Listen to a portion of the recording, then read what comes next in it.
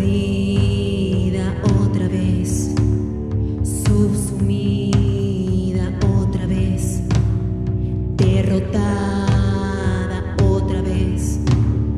En la zanja, desahuciada.